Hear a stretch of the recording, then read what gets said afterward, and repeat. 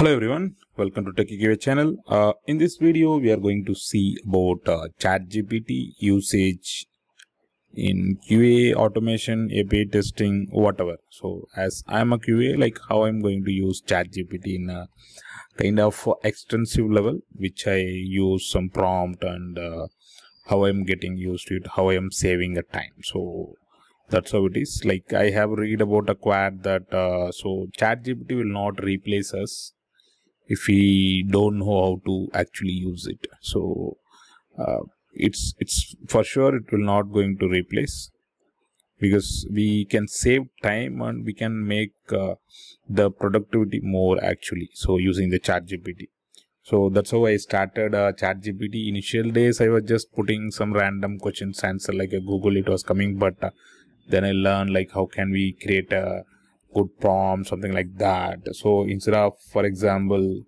uh, write some test cases for login screen something like that. You can write it and you will get uh, some test cases.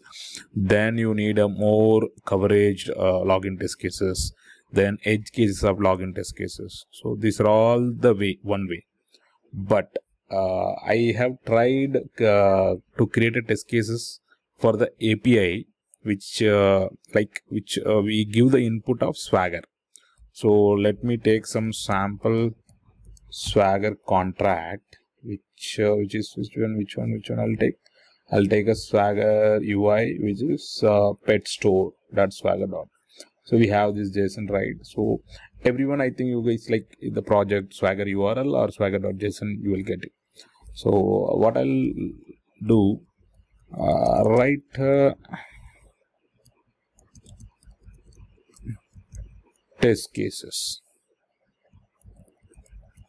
for the uh, API contract given below.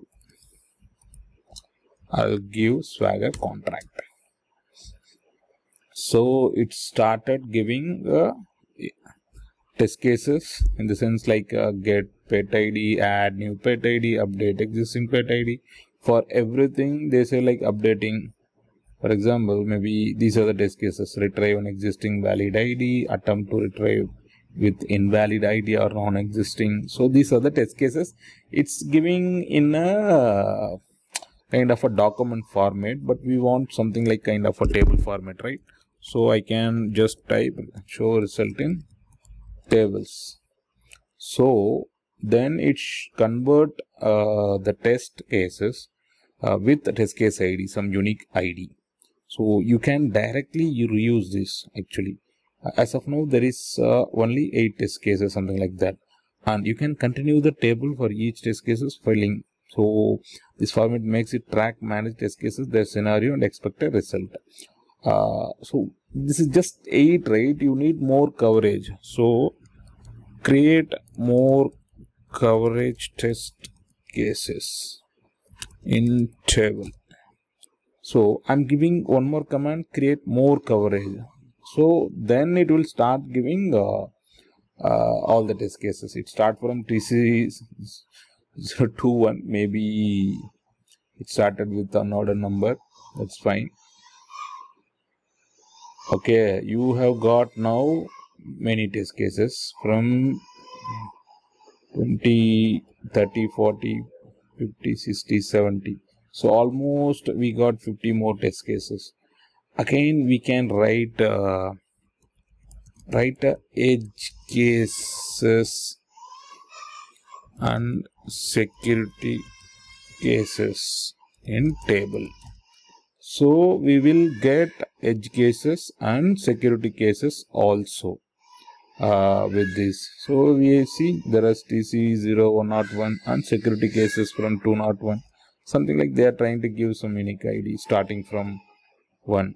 So this is how we can cover see with just having the swagger we'll get everything like all the test data test cases something like that everything.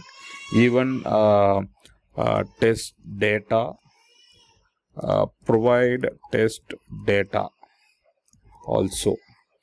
So uh, it will give you a test data also for the particular uh, things invalid for each like each test cases. So this is awesome right? So uh, instead of thinking a lot the actual standard cases uh, test cases and test data you will get it from chat gpt then actually you can spend time lot uh, lot of time on the logical test cases and all. Okay. Anyway guys i think uh, this one is like useful for you maybe you can enhance the prompt and you can put a prompt for something else maybe uh, debugging the code fixing the code. There are many in the google. I'm just i'm just showing something like uh, want to show on the real time how it is happening instead of reading on the blog.